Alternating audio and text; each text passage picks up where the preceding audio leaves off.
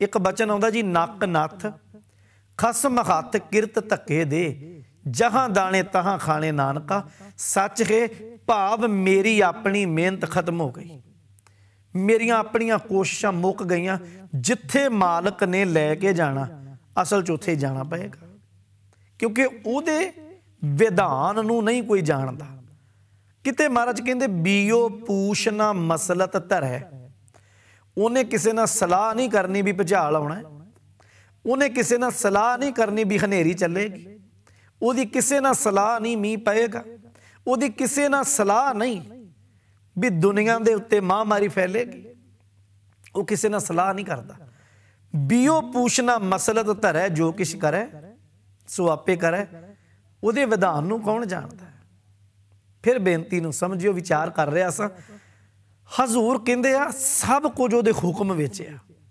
ਆਪ ਨਾਥ ਨਾਥੀ ਸਭ ਜਾ ਕੀ। ਉਧਰ ਕਹਿੰਦੇ ਆ, ਏਕਾ ਮਾਈ ਜੁਗਤ ਵਿਆਈ ਤਿੰਨ ਚੇਲੇ ਪ੍ਰਵਾਨ, ਇੱਕ ਸੰਸਾਰੀ, ਇੱਕ ਭੰਡਾਰੀ, ਇੱਕ ਲਾਏ ਦੀ ਬਾਣ, ਇਹ ਜੋਗੀ ਕਹਿ ਰਹੇ। ਆ ਹਜ਼ੂਰ ਕਹਿੰਦੇ, ਨਹੀਂ, ਜਿਉਂ ਤਿਸ ਭਾਵੈ, ਜਿਵੇਂ ਮਾਲਕ ਨੂੰ ਪਰਮਾਤਮਾ ਵਾਹਿਗੁਰੂ ਅੱਲਾ ਨੂੰ ਗੋਡ ਨੂੰ ਭਾ ਰਿਹਾ ਆ ਤਿਵੇਂ ਚਲਾਵੇ, ਜਗ ਸੰਸਾਰ ਉਦਾਂ ਚੱਲਦਾ ਹੈ। ਜਿਵ ਹੋਵੇ ਫੁਰਮਾਨ ਤੇ ਸਭ ਤੋਂ ਵੱਡੀ ਗੱਲ ਕੀ ਹੈ? ਉਹ ਵੇਖੈ। ਪਰਮਾਤਮਾ ਵੇਖਦਾ ਪਿਆ ਸਾਰਿਆਂ ਨੂੰ, ਉਹਨਾਂ ਨਦਰ ਨਾ ਆਵੇ। ਜੇ ਅਸੀਂ ਕਹੀਏ ਵੀ ਅਸੀਂ ਰੱਬ ਵੇਖ ਲਿਆ, ਕਿਉਂਕਿ ਅੱਜ ਜ਼ਮਾਨਾ ਜਿਹੜਾ ਚੱਲਦਾ ਨਾ, ਉਹ ਦਲੀਲ ਦਾ ਹੈ। ਹਰ ਬੰਦਾ ਦਲੀਲ ਭਾਲਦਾ ਪਿਆ, ਹਰ ਬੰਦਾ ਦਲੀਲ। ਆਮ ਤੌਰ ਤੇ ਸਾਡੇ ਲੋਕ ਕਹਿੰਦੇ ਲੈ ਰੱਬ ਕਿਨੇ ਵੇਖਿਆ? ਪਿਆਰਿਓ, ਸਾਡੇ 'ਚ ਇੰਨੀ ਸ਼ਕਤੀ ਨਹੀਂ। ਕਿ ਉਸ ਅਸੀਮ ਸ਼ਕਤੀ ਦਾ ਇੱਕ ਚਲਕਾਰਾ ਵੀ ਬੰਦਾ ਮਾਣ ਸਕਦਾ ਹੋਵੇ।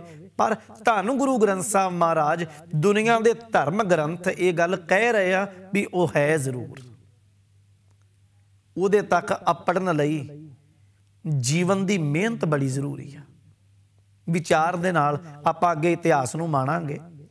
ਹਜ਼ੂਰ ਨੇ ਆਖਿਆ, ਉਹ ਵੇਖੈ, ਪਰਮਾਤਮਾ ਸਭ ਨੂੰ ਵੇਖਦਾ, ਉਹਨਾਂ ਨਜ਼ਰ ਨਾ ਆਵੇ।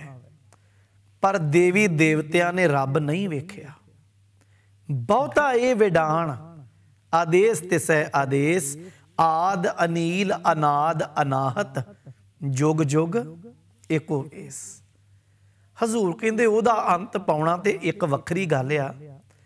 ਸੱਚ ਇਹ ਹੈ ਵੀ ਪਰਮਾਤਮਾ ਦੀਆਂ ਬਖਸ਼ਿਸ਼ਾਂ ਦਾ ਵੀ ਕਿਸੇ ਅੰਤ ਨਹੀਂ ਪਾਇਆ। ਅੰਤ ਨਾ ਸਿਫਤੀ, ਕਹਿਣ ਨਾ ਅੰਤ। ਬੰਦੇ ਦੀ ਸਿਫਤ ਦਾ ਅੰਤ ਆ ਵੀ ਫਲਾਨਾ ਬਹੁਤ ਚੰਗਾ ਆ। ਉਹ ਹੈਲਪਫੁਲ ਆ, ਉਹ ਗਰੀਬ ਦੀ ਮਦਦ ਕਰਦਾ ਆ, ਉਹ ਤਰਸ ਵਾਲਾ ਆ। ਕਿੰਨੇ ਕੁ ਗੁਣ ਬੰਦੇ ਦੇ ਬਿਆਨ ਕਰ ਸਕਦੇ ਆਪਾਂ? ਪਰ ਜਦੋਂ ਰੱਬ ਦੀ ਗੱਲ ਚੱਲੇਗੀ, ਗੁਰੂ ਗ੍ਰੰਥ ਸਾਹਿਬ ਦੀ ਬਾਣੀ ਧਾਰਮਿਕ ਪੁਰਸ਼, ਧਾਰਮਿਕ ਰਹਿਬਰ, ਧਰਮ ਦੇ ਗ੍ਰੰਥ ਜਿਹੜੇ ਰੱਬ ਦੀਆਂ ਹੀ ਤੇ ਗੱਲਾਂ ਕਰਦੇ ਆ। ਅੰਤ ਨਾ ਸਿਫਤੀ, ਕਹਿਣ ਨਾ ਅੰਤ ਅੰਤ ਨਾ ਕਰਨਾ, ਦੇਣ ਨਾ ਅੰਤ। ਕੀ ਉਹਦੀਆਂ ਦਾਤਾਂ ਦੇ ਵਿੱਚੋਂ ਖਜ਼ਾਨੇ ਮੁੱਕ ਗਏ?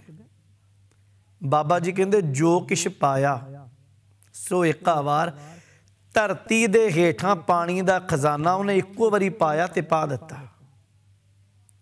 ਹਵਾ ਦੀ ਰਹਿਮਤ ਦੁਨੀਆ ਤੇ ਚੱਲਦੀ ਤੇ ਇੱਕੋ ਵਾਰੀ ਚੱਲ ਪਈ, ਬਸ। ਕੌਣ ਉਹਦਾ ਅੰਤ ਪਾਏਗਾ? ਰੱਬ ਦੀ ਜਿਹੜੀ ਦਾਤ ਆ, ਪਿਆਰ ਵਾਲਿਓ, ਧਰਮ ਦੀ ਦੁਨੀਆ ਦੀ ਗੱਲ ਨੂੰ ਸਮਝੀਏ ਜੇ ਸੰਸਾਰੀ ਤੌਰ ਤੇ ਜਿੰਨੀ ਮਰਜ਼ੀ ਕਿਸੇ ਕੋਲ ਵਿਦਿਆ ਹੋਵੇ, ਪਰ ਕੀ ਯਾਦ ਰੱਖਿਓ, ਕੀ ਹਵਾ ਬਣਾ ਸਕਦਾ ਕੋਈ? ਕੀ ਪਾਣੀ ਪੈਦਾ ਕੀਤਾ ਜਾ ਸਕਦਾ? ਜਦੋਂ ਉਹਦੇ ਖਜ਼ਾਨਿਆਂ ਦਾ ਅੰਤ ਨਹੀਂ ਤੇ ਉਹਦੇ ਅੰਤ ਕੌਣ ਪਾ ਸਕੇਗਾ? ਇਸ ਲਈ ਇਹ ਗੱਲ ਕਹਿ ਦੇਣੀ ਵੀ ਮੈਂ ਰੱਬ ਨੂੰ ਪਹਿਚਾਣ ਲਿਆ, ਮੈਂ ਵੇਖ ਲਿਆ, ਮੈਂ ਉੱਥੋਂ ਤੱਕ ਅੱਪੜ ਗਿਆ ਆ। ਮਹਾਰਾਜ ਕਹਿੰਦੇ ਪਹਿਲਾਂ ਤੋਂ ਦੇ ਖਜ਼ਾਨਿਆਂ ਦਾ ਅੰਤ ਨਹੀਂ, ਬੜੀ ਪਿਆਰੀ ਇੱਕ ਸਾਡੇ ਉਸਤਾਦ ਜੀ ਉਦਾਹਰਨ ਦਿਆ ਕਰਦੇ ਸਨ। ਉਹ ਕਹਿੰਦੇ ਨੇ ਦੁਨੀਆ ਦੀ ਜੂਸ ਮਸ਼ੀਨਾਂ ਜਿਹੜੀਆਂ, ਉਹਦੇ ਵਿੱਚ ਜਿੱਦਾਂ ਜਿੱਦਾਂ ਦਾ ਕੋਈ ਫਰੂਟ ਪਾਉਂਦਾ ਹੈ ਉਦਾਂ ਦਾ ਅੱਗੇ ਜੂਸ ਨਿਕਲਦਾ ਹੈ। ਪਰ ਸਰੀਰ ਮਸ਼ੀਨਰੀ ਰੱਬ ਨੇ ਕਿਦਾਂ ਦੀ ਬਣਾਈ ਹੈ? ਇਹਦੇ ਵਿੱਚ ਭੋਜਨ ਕੋਈ ਕਿਦਾਂ ਦਾ ਖਾ ਰਿਹਾ ਹਰ ਇਲਾਕੇ, ਹਰ ਦੇਸ਼, ਹਰ ਮਜ਼ਹਬ ਦੇ ਅਨੁਸਾਰ ਲੋਕਾਂ ਦਾ ਖਾਣਾ ਵੱਖੋ ਵੱਖਰਾ ਹੈ।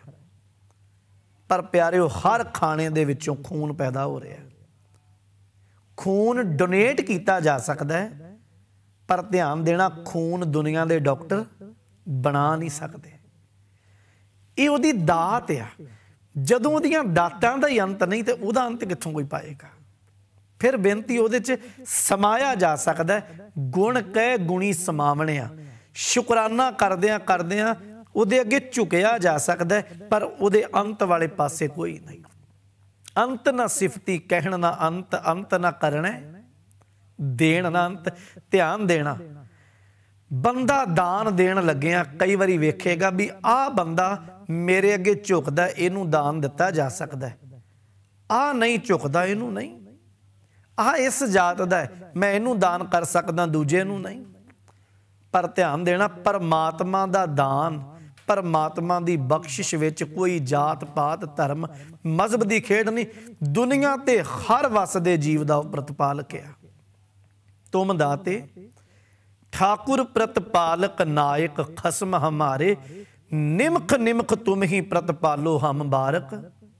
ਤੁਮਰੇ ਧਾਰੇ, ਸਤਿਗੁਰੂ ਕਹਿੰਦੇ ਪੱਥਰਾਂ 'ਚ ਵਸਦੇ ਕੀੜਿਆਂ ਤੱਕ ਉਹ ਰੋਜ਼ੀ ਦੇ ਰਿਹਾ ਪਾਣੀ ਵਿੱਚ ਵਸਦੇ ਜੀਆਂ ਨੂੰ ਰੋਜ਼ੀ ਦੇ ਰਿਹਾ ਦੁਨੀਆ ਤੇ ਵਸਦੇ ਜੀਵ ਕਿੰਨੇ ਮਜ਼ਹਬ ਧਰਮਾਂ ਦੇ ਲੋਕ ਹੈ। ਇੱਥੇ ਧਰਮ ਨੇ ਵੰਡੀਆਂ ਇਹ ਪਾ ਦਿੱਤੀਆਂ ਵੀ ਆਹ ਬੰਦਾ ਇਸ ਧਰਮ ਦਾ ਇੱਥੇ ਬਹਿ ਕੇ ਛਕ ਸਕਦਾ, ਦੂਜਾ ਨਹੀਂ। ਪਰ ਪ੍ਰਮਾਤਮਾ ਦਾ ਵਿਧਾਨ ਐਸਾ ਨਹੀਂ ਹੈ। ਉਹ ਸਾਰੀ ਕਾਇਨਾਤ ਦਾ, ਦੁਨੀਆ ਦਾ ਰਿਜ਼ਕ ਦਾਤਾ ਮੈਨੂੰ ਇਤਿਹਾਸ ਚੋਂ ਇੱਕ ਨਿੱਕੀ ਜੀ ਘਟਨਾ ਯਾਦ ਆਈ। ਸ਼ਿਵਾ ਜੀ ਮਰਹੱਟੇ ਦਾ ਨਾਂ ਬਹੁਤ ਲੋਕਾਂ ਸੁਣਿਆ ਸ਼ਿਵਾ ਜੀ ਮਰਹੱਟੇ ਦਾ ਜਿਹੜਾ ਉਸਤਾਦ ਹੈ, ਉਹਦਾ ਨਾਮ ਹੈ ਸਮਰੱਥ ਰਾਮਦਾਸ। ਸਮਰੱਥ ਰਾਮਦਾਸ ਸਤਿਗੁਰੂ ਗੁਰੂ ਹਰਗੋਬਿੰਦ ਸਾਹਿਬ ਨੂੰ ਛੇਵੇਂ ਪਾਤਸ਼ਾਹ ਨੂੰ ਕਸ਼ਮੀਰ ਦੀ ਧਰਤੀ ਤੇ ਇੱਕ ਵਾਰ ਮਿਲਿਆ ਤੇ ਉਹਨੇ ਮਾਲਕ ਦੇ ਚਰਨਾਂ ਵਿੱਚੋਂ ਫਕੀਰੀ ਨੂੰ ਮਾਣਿਆ। ਫਕੀਰ ਬੰਦਾ ਸੀ। ਫਕੀਰੀ ਨੂੰ ਮਾਣਿਆ ਵੀ ਅਸਲ ਫਕੀਰੀ ਕਹਿੰਦੇ ਕਿਹਨੂੰ ਹੈ?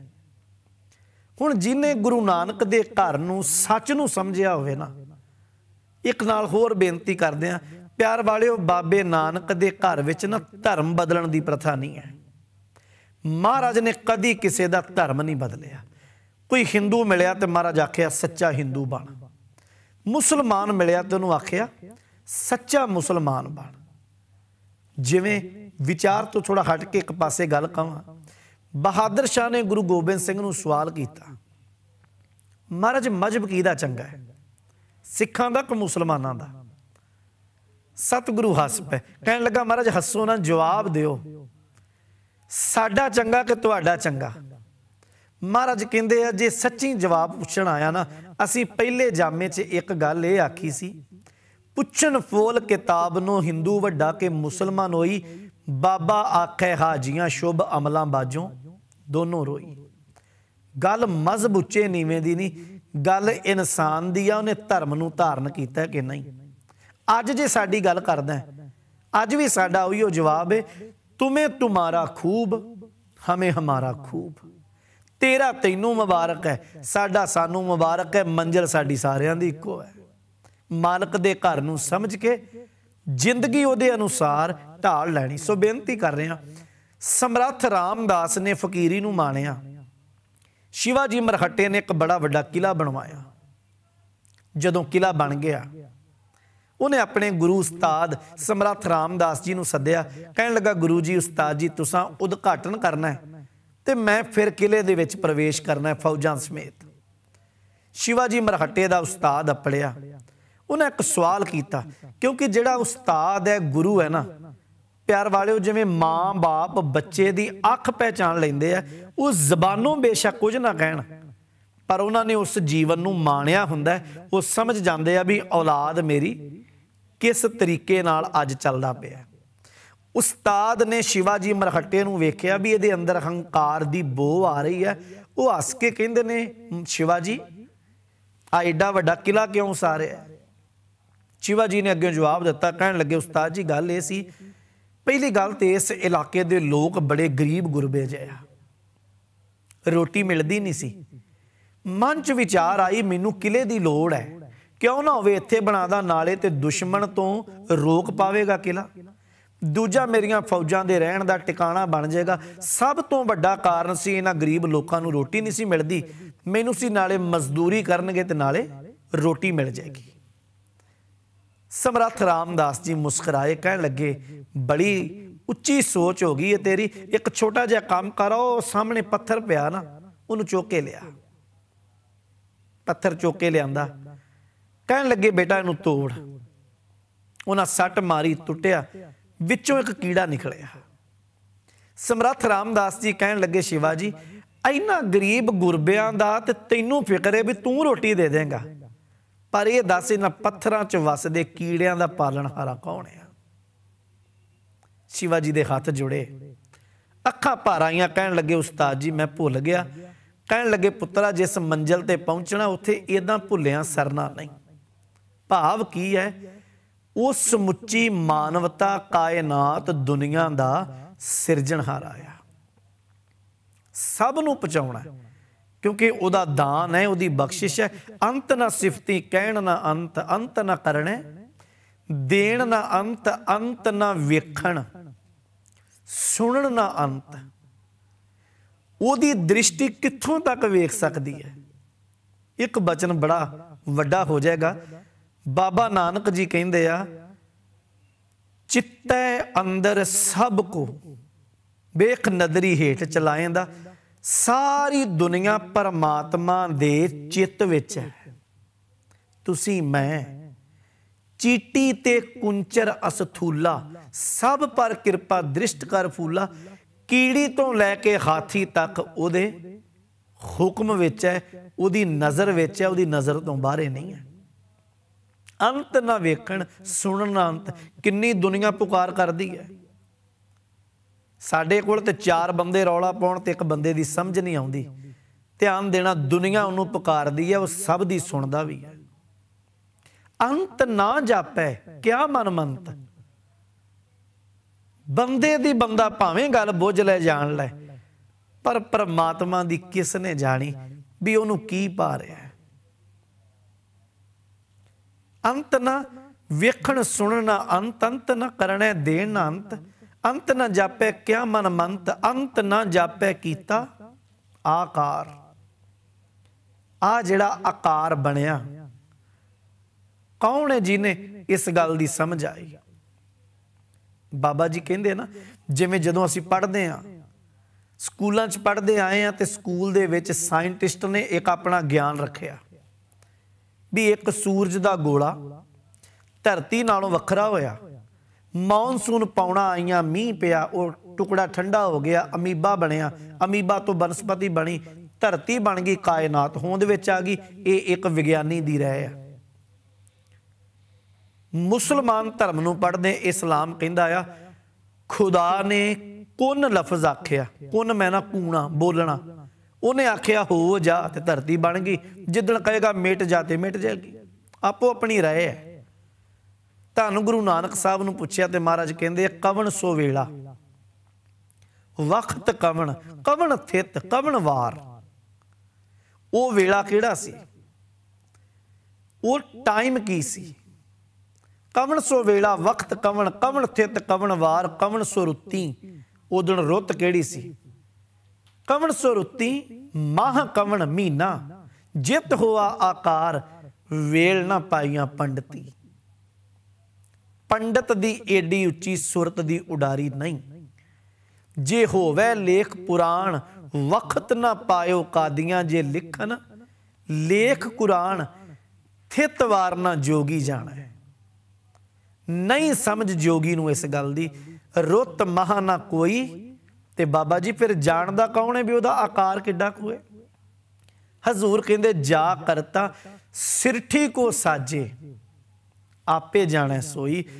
ਜਿਨੇ ਇਹਨੂੰ ਸਾਜਿਆ ਸਿਰਫ ਉਹੀ ਜਾਣਦਾ ਦੂਜਾ ਕੋਈ ਨਹੀਂ ਜਾਣਦਾ।